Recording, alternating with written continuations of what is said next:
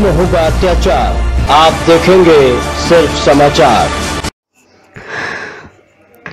खीरी में व्याप्त गंदगी फैल रही। बीमारियों को रोकथाम की मांग। लखीमपुर खीरी, कस्बा खीरी में व्याप्त गंदगी फैलने से बाद होने वाली बीमारियों के रोकथाम व गंदगी को हटाने के संबंध में खीरी विकास समिति ने डीएम को ज्ञापन देकर समस्याओं के समाधान की मांग की। खीरी विकास समिति के अध्यक्ष आमिर रजा, पम्मी के नेतृत्व में कस्बे के दर्जनों लोगों ने ज्ञापन देकर जिला अधिकारी से कहा कि कस्बा खीरी के अधिकांश वार्डो में जगह जगह गंदगी के ढेर लगे हैं।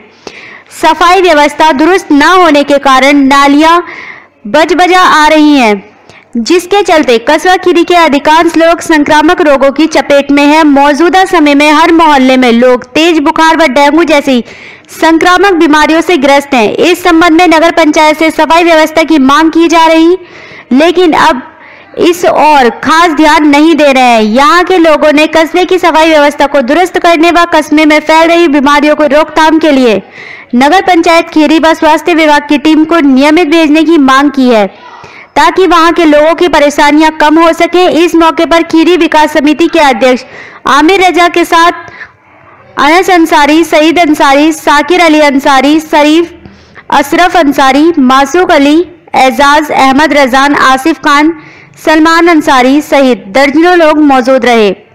रिपोर्ट लक्ष्मीकांत गुप्ता, लखीमपुर खीरी, हिंदुस्तान न्यूज़ 24 नगर पंचायत में बहुत गंदगी है जिसको लेकर आज हम लोग डीएम साहब से मिलकर ज्ञापन दिया हम लोगों ने।